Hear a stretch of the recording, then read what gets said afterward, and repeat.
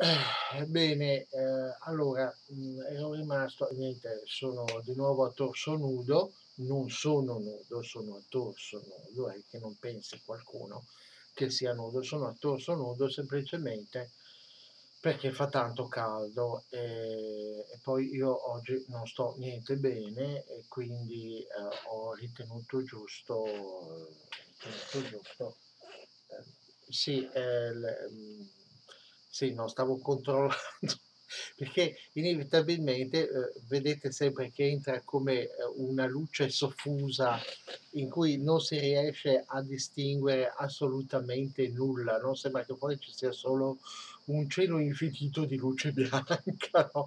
Quelle, queste due macchioline rosse che si scorgono in mezzo sono, eh, sono il fermaglio del manico de, de, dell'antano che è rimasta così libera che mi sono dimenticato di fissare. Ecco, eh, va bene.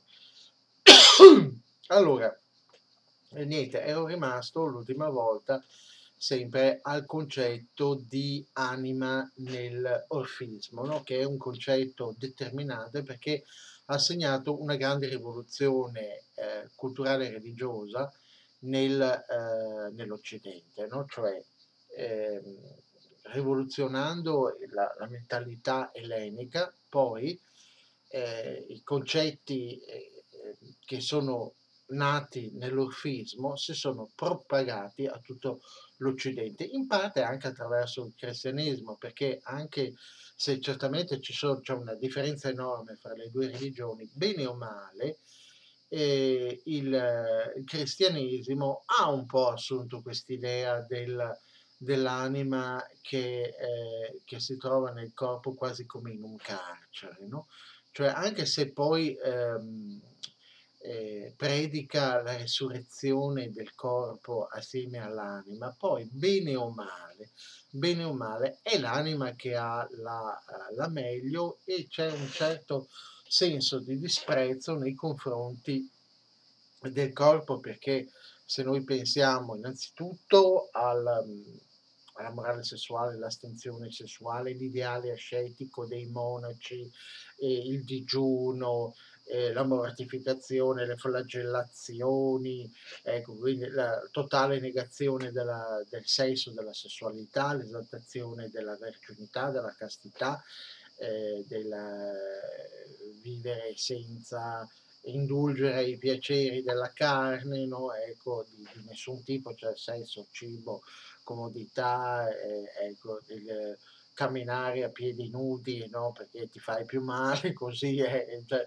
eh, diciamocelo pure che c'è un certo disprezzo del corpo nella eh, tradizione cristiana, anche se poi adesso molti cristiani rinnegano perché si sono accorti che c'è questa, come dire, eh, questa contraddizione, no? a affermare che il corpo è destinato alla risurrezione e quindi alla visione beatifica di Dio tanto quanto l'anima e poi invece maltrattarlo, negare che le sue esigenze, i suoi bisogni sia, abbiano un qualche valore, no? le due cose appaiono abbastanza in contrasto, molti eh, teologi se ne sono accorti e quindi hanno cercato di ovviare a tutte le le, cioè, certe tradizioni che adesso ormai sono in disuso anche presso i fanatici. Ah, eh, poi, eh, piccola parentesi che volevo dire all'inizio, ma eh, non, non eh, mi è venuto in mente, noterete che nell'ultimo video ci sono un sacco di non mi piace, no? Evidentemente come mai quello in particolare non è piaciuto? No, è che sono eh, è saltata fuori una nuova schiera di nemici, no, non biglienesi, questa volta semplicemente leghisti, no? perché siccome mi sono permesso di dire eh, che Salvini è a mio giudizio, no? ma eh, non per il gusto di insultare, proprio per una convinzione profonda, è un cretino, ehm, cosa dimostrata poi dalla faccenda delle vaccinazioni, no? perché è un altro di quelli che sembrano dar più retta alle bufale che girano su internet che a, alla ragione, al, a chi insomma la sa più lunga di lui. No? E eh, allora, ovviamente c'è stato qualcuno, eh, in prima linea una certa, eh, non so se sia realmente una donna, l'avatar è quello di una bella fataluna bionda che non so quanto corrisponda alla persona che sta dietro, che si, si firma fanatica cristiana, no? Dico, beh, almeno questa fa capire subito che razza di persona è, no? che dice, oh i Salvini e allora beccati un non mi piace, no? potete vedere nel, precedente video, evidentemente c'erano anche i suoi amichetti, ci sono sette non mi piace. No? È una cosa abbastanza sciocca e ridicola da fare, anche perché dovrebbero dovrebbero star lì ad aprire tutti i miei 1650, adesso non so neanche quanti ho perso conto, no? ma so che sono più di 1600 video, star lì a mettere non mi piace su tutti quanti e poi tra l'altro queste cose sono boomerang perché allora scusate anche io potrei divertirmi a ehm, prendere tutti i canali di leghisti e tutti i canali di leghisti e divertirmi a mettere non mi piace su, su tutti i video eh, che, che, ci sono, insomma una cosa abbastanza ridicola, assurda. E, ehm, vabbè, eh, piccola parentesi, no? Eh, nel senso non preoccupatevi, cioè quando vedete una sequela di non mi piace significa che ci sono i miei nemici che in agguato che più che mettere non mi piace e mettere commenti sgradevoli non possono fare. Allora, riprendendo il discorso sul, su, sull'anima, riprendiamo a leggere il testo di Giovanni Reale, che è così ben fatto, come avete potuto notare, è molto, cioè Giovanni Reale era una persona molto eh, documentata, no? cioè, eh, ha saputo fare la, la, sua storia della filosofia antica in modo molto documentato, accurato, con ragionamenti molto approfonditi. Non dico che sia da prendere come oro colato, no, ovviamente questo testo ha i suoi difetti e anche eh, Giovanni Reale, insomma, magari ha avuto de, eh, delle tesi discutibili, però vi assicuro che se volete conoscere veramente a fondo la filosofia antica, eh, per cominciare questo va benissimo. No? La, eh, Giovanni Reale da, è proprio, eh, perlomeno a livello così scolastico, va proprio bene. Dunque, questo nuovo schema di credenze, come dicevamo, era destinato a rivoluzionare l'antica concezione della vita e della morte, come in modo paradigmatico dice un celebre frammento di Euripide. Chissà se il vivere non sia morire e morire invece vivere. Perché prima, cioè noi vediamo che per eh, le, le, gli eleni, il pensiero ellenico precedente, no, la mentalità ellenica precedente, eh, morire era morire. No? Cioè eh, nei poemi omerici, quando l'uomo muore, appunto la sua ombra va nell'Ade, e la sua vita è finita. La, la vita umbratile dell'Ade appare come appunto un, una sorta di limbo senza memoria, senza vera vita, no? è, è semplicemente un'esistenza da fantasmi, senza coscienza, senza memoria, senza volontà, no? cioè come un'ombra trascinata dal vento no? che prosegue la sua esistenza in modo inutile. Morire è morire, cioè, eh, poco, manca poco a dire al di là della morte non c'è niente, diciamo c'è quasi niente, c'è qualcosa, ma è ben poca cosa, no? non è vera vita. E, e eh, invece nel, cioè, l'immortalità è data solo agli dei, l'eterna felicità è data solo agli dei. Invece qua abbiamo un rovesciamento. Morire invece è un risvegliarsi alla vera vita. È questa vita che è ottenebrata, che non è una vita completa, piena, no? in cui l'uomo non può esprimere tutto se stesso, perché è incarcerato, incarcerato dai limiti del proprio corpo. La propria anima invece è divina, è libera, non ha limiti, è immortale, non può soffrire, eh, se non per la tristezza del ricordo forse, eh, o eh, no, non ha catene di nessun tipo, può andare dove vuole, può fare quello che vuole, no? Ed è appunto questa scarcerazione che dobbiamo tenere. La morte non è un evento triste, anzi è un evento gioioso, se dopo l'anima non è costretta di nuovo a rientrare subito in un altro corpo, no? E quindi a essere incarcerato eh, subito, eh, subito, dopo. C'è proprio un rovesciamento del concetto della vita de, eh, della morte e dell'anima. Cioè, appunto, chissà se il vivere non sia morire e il morire invece vivere, no? cioè che eh, essere eh, in questo mondo significa essere morti. Si vivi solo quando si va oltre questo mondo. E Platone nel Gorgia Gorgia, Gorgia è uno dei suoi tanti dialoghi, proprio partendo da questa idea, mostra tutta la carica rivoluzionaria del nuovo messaggio. Esso postula una nuova impostazione di tutta eh, l'esistenza, in particolare postula una mortificazione del corpo e di tutto ciò che è proprio del corpo, una vita in funzione dell'anima e di ciò che è dell'anima. Cioè Platone non era orfico specificamente, ma noi vedendo le sue eh, diciamo, dottrine sull'aldilà, il modo in cui concepisce l'aldilà, l'anima, nei suoi testi, noi vediamo che, che decisamente è orfico come modo, come mentalità, no? Cioè perché lui dice il mondo, questo mondo corporeo è illusorio, è transitorio.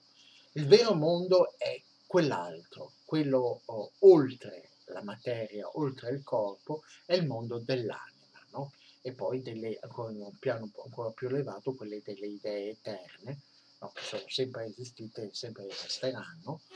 L'anima invece si suppone che abbia avuto un inizio, eh, da qualche parte non è ben chiaro, ecco, ma ha avuto inizio nel regno delle idee e si è trovato a cadere in questo mondo fisico. Di conseguenza, se coerentemente, no? qual è la conseguenza etica di tutto questo? Se il corpo è il carcere dell'anima, no? tiene prigioniera l'anima, è colpevole di eh, mantenere eh, prigioniera l'anima, eh, il sistema migliore per vivere è anche per assicurarsi che poi nel mondo di là noi non ricadiamo di nuovo nel, nel mondo della corporeità e vivere mortificando il corpo, cioè non dando retta alle sue esigenze, ai suoi bisogni, ecco, vivendo appunto in modo ascetico, mortificando il corpo, in modo che l'anima, quando sarà, eh, si libererà dal corpo, resterà libera, non vorrà di nuovo discendere nei vizi della materia del corpo. No? Ecco, questo è questo, diciamo, questo eh, antimaterialismo, spiritualismo estremizzato e eh, poi si è trasmesso, diciamocelo, in parte al cristianesimo, inevitabilmente, cioè c'è poco da discutere su questo fatto. Naturalmente Giovanni Reale, che era cattolico, si guarda bene dal dirlo, però, però eh, cioè, è una constatazione che facciamo noi dopo, insomma. Ecco.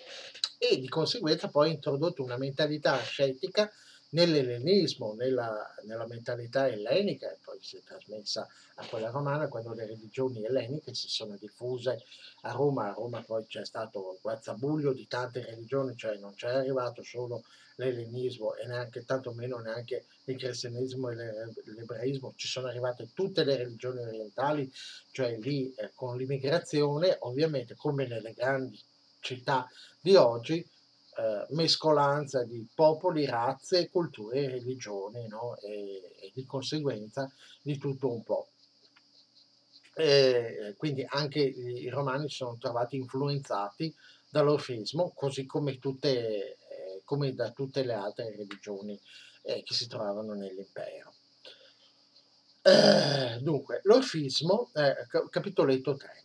L'orfismo è la credenza nella metempsicosi. La metempsicosi è quella che noi chiamiamo eh, banalmente reincarnazione. Metempsicosi è il termine colto, eh, di origine chiaramente greca, guarda caso, non c'è da notare che il termine colto per indicare la reincarnazione è di origine greca, metempsicosi, cioè eh, l'anima che passa da un'esistenza all'altra. No? Adesso non conosco la precisa eh, etimologia del termine, però eh, chiaramente deriva da psiche, che significa anima, e penso anche metà, eh, metà che, che, che, in greco non significa metà, ma significa oltre, oltre, no?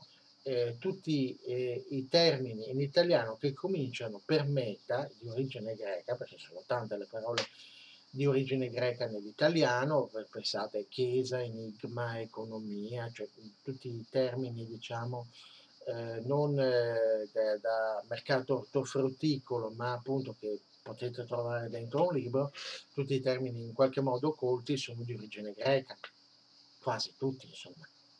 Allora, metempsicosi indica, cioè fa capire che indica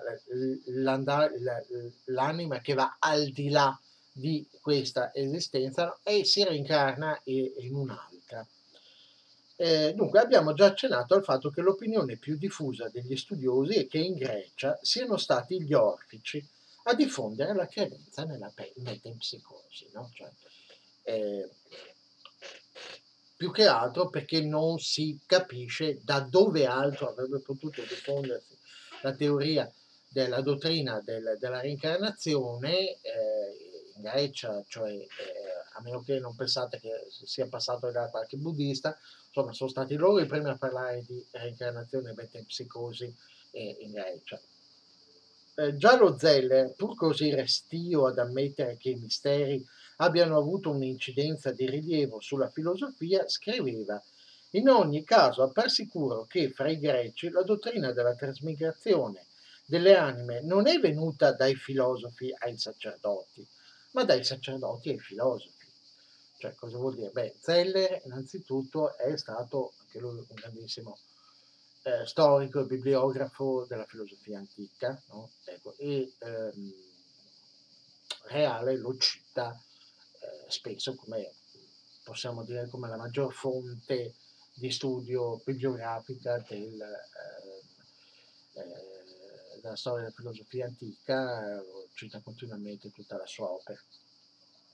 E eh, dunque, ehm, eh, cosa dice esattamente eh, Zeller? Dice, nonostante no, non volesse, cioè tendesse a ridimensionare l'influenza dei misteri delle religioni misteriche, che c'era solo l'orfismo, non ce n'erano altri, sulla eh, filosofia, dice, eh, per quanto riguarda la metapsicosi, eh, possiamo dire che non l'hanno inventata i filosofi, perché infatti i filosofi, la filosofia, eh, non ha inventato dottrine di tipo religioso, perché cioè tutto quello che riguarda eh, l'aldilà, non è oggetto della filosofia. La filosofia eh, riflette eh, razionalmente eh, sul, sul, mondo che appare no? e su ciò che trascende il mondo.